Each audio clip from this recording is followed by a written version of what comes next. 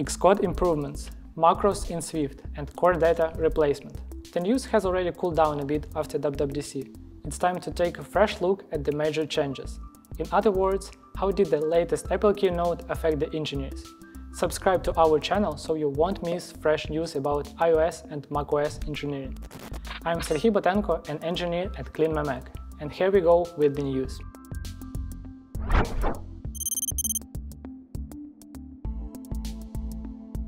Let's skip all the product updates, you might have already read about them all over the media. Instead, I will briefly update you about the key changes that affect our work, as well as about new APIs. We will start with Xcode, a tool where we spend most of the working hours. Here are the 5 most important Xcode 15 updates. Number 1. Xcode is decreased in size even more. If you choose only the macOS SDK, the DMG file weighs just under 3 GB and unpacked Xcode takes 10 GB. This is the half the size of Xcode 14. Number 2. Xcode got improved auto-completion. Once you create a class in an empty file, Xcode will suggest the file name as a name of the class. Number 3. Xcode killed or rather Sherlocked SwiftGen, RSwift and other similar tools. Xcode 15 generates type-safe symbols for images and colors from xcassets files. For example, here we have the main use preview image. Xcode generates this variable and updates it when it's renamed or deleted. Number 4. String catalogs. There are some dramatic changes here. Apple has completely changed the format of how translation files are stored.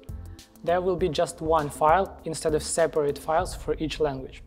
Therefore, changing the localization key will affect all the languages, so you won't miss any key. There will be also a check in case of missing translations for any language. And if you change the original value, Xcode will mark all translations as needs review. Number 5, last but not least, a new Quick Actions panel is available in the latest Xcode. You can access it by pressing Command-Shift-A.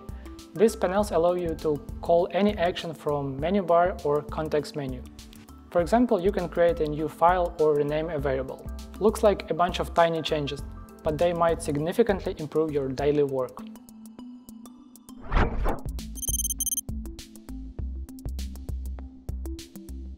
Let's move to Swift. The most exciting feature is macros, which allows you to eliminate a bunch of boilerplate code. Check out the list of open source macros via the link in the description below.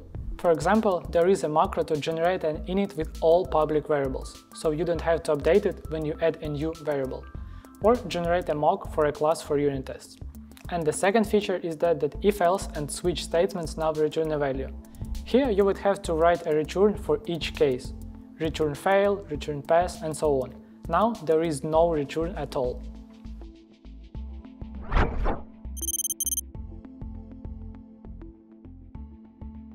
It's time for SwiftUI.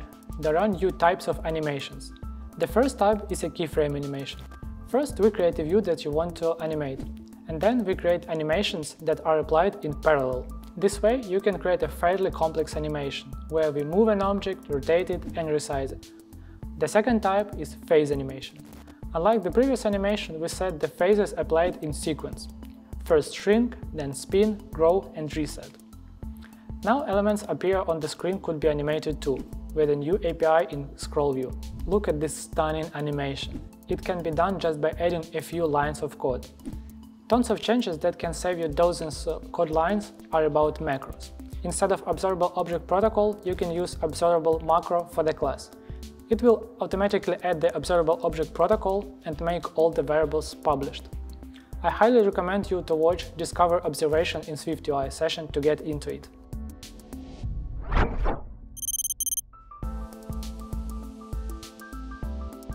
Swift Data. It's a new data storage framework that replaced Core Data. Now you don't need to create a database scheme.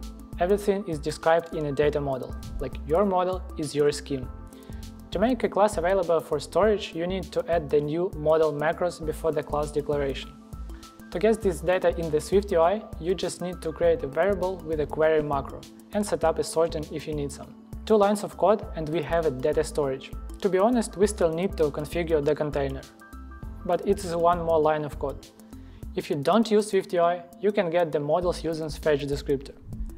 Take the context from the container, set up a request and execute it. Almost the same as working with uh, fetch request from core data.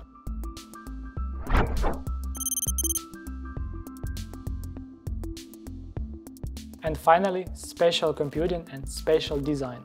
I was pretty short on time to fully dive into these sessions, so don't miss the complete review in the upcoming episodes. Today I will recommend you the sessions available on this topic. There are plenty of them, so let's figure out which ones you should start with. The first session is Get Started with Building Apps for Spatial Computing. This is the base, the basis for work.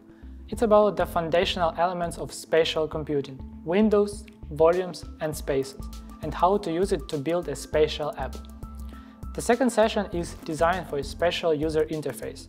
It's about playing with fonts, colors and Windows transparency you use to design a perfect interface.